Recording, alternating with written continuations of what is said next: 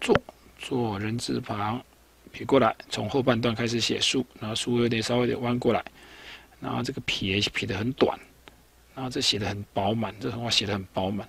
那通常这个竖画会比较结实，两个都差不多啊，这两个横画差不多，这很特别，其实应该有分差别，但那没有差别。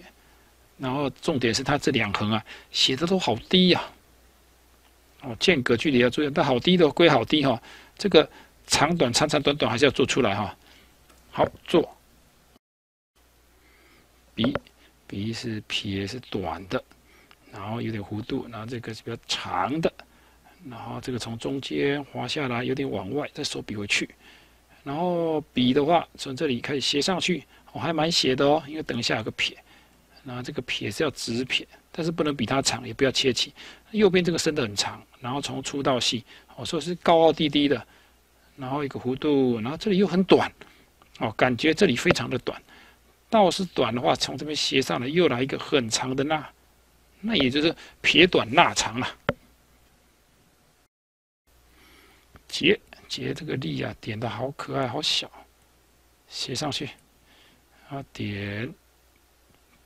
啊，这个靠的非常的近啊，写的很小，靠的很近，跟这一个跟左右边这两个倒是我看过中，在这边算是最近的，几乎快依附在一起了。这里看不出来谁伸长啊，只要笔画伸长谁伸长，有时候不一定啊，靠得好近。然后这个是张开的，张开以后缩紧，然后勾起来，然后这里面这个不是塞里面了，它掉下来的，掉到外面来一点，从这里开始写。啊，这这么多接触的地方，接触点开始写，然后这个小妹是细的，拉的比较长一点点，啊，跟它有点呼应了。结，齐齐的话，这种很稳定，但是要注意长短，然后注意略有点弧度，不要把它写成像电线杆哦，那这很糟糕啊。所以说有点弧度，然后有点往内，然后这个横画当然是可以要把它写漂亮。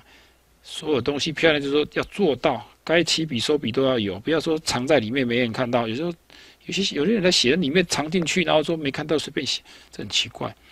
那齐的话，这个左右点是它的支撑的点，所以它打得很开，中间间隔很开，然后这个点是压下来，这样稍微拉一动一下让它压下来，所以这两个点很开哦。好，立立这个要斜上去，然后这个按下去以后加点粗细折下来。然后这个比较饱满的勾勾上去，啊，这个撇好弯哦，撇就很弯，加一点弧度。那如果很弯，就要加点弹性啊。好，力。我我这个撇啊，看起来都非常的怪异啊，撇的好快啊。其实这个应该太太翘了，没关系，造型。啊，这个才是真的很斜。哦，这个到时候撇过来对它就好。然后这里又弯了一下，以后才下来一些。所以这个字突然活泼了起来，然后这里又开始严肃了。好，那右斜钩上面伸很长，下面这边伸很长，那右下角伸很长，这个上面伸很长，然后拉下来有点弧度，然后这右下方又伸得很长，然后勾的时候略往上勾，然后撇粗到细，上面从外面撇进来。好，好，我想想这个把它当成中间点，反正已经破掉了。然后这个是不太长的横画，竖画可以加粗一点，让这个字有点支撑的力量。然后中间这两个进来是悬空的哦，前面后面都不碰到，这个就开始稍微宽一点点，按下去变粗，粗变细。然后这个有点弧度，弯过来以后拉长，这是他腿比较长，然后再甩出去，我感觉甩的还蛮长的。然后这个笔画是它最长的，然后稍微靠直的上方一点点拉开以后。是应该是最长，所以这个笔画比上面都长啊，长短长长短啊，详。七七的话，横画拉出去，手笔